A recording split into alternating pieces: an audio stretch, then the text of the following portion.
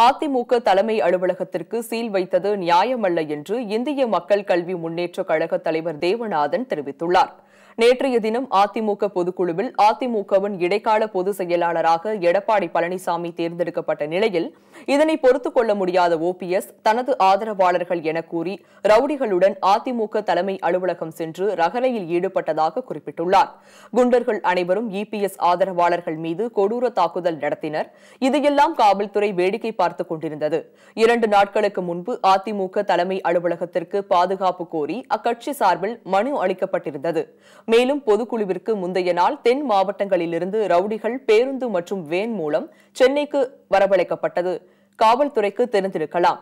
இதையெல்லாம் தெரிந்தும் கூட அதிமுக தலைமை அலுவலகத்திற்கு வேண்டுமென்றே பாதுகாப்பு கொடுக்காதது ஏன் என தேவநாதன் கேள்வி எழுப்பியுள்ளார். தமிழகத்தில் சட்டம் ஒழுங்கு எந்த அளவிற்கு சீர்குலைந்து இருக்கிறது என்பதற்கு இதுவே ஒரு சான்று எனவும் அதிமுகவில் திட்டமிட்டு ஏற்படுத்தப்பட்ட சிறு சலசலப்பை காரணம் காட்டி அதிமுக தலைமை அலுவலகத்திற்கு சீல் வைத்திருப்பது நியாயமில்லை எனவும் அவர் கூறியுள்ளார். அதிமுக மீண்டும் ஆட்சி அமைக்கும் போது திமுகவிலும் ஒரு ஓபிஎஸ் உருவாகலாம் எனவும் உடனடியாக அதிமுக அலுவலகத்திற்கு வைக்கப்பட்ட சீல் அகற்றப்பட வேண்டும் எனவும் தேவநாதன் வலியுறுத்தியுள்ளார்.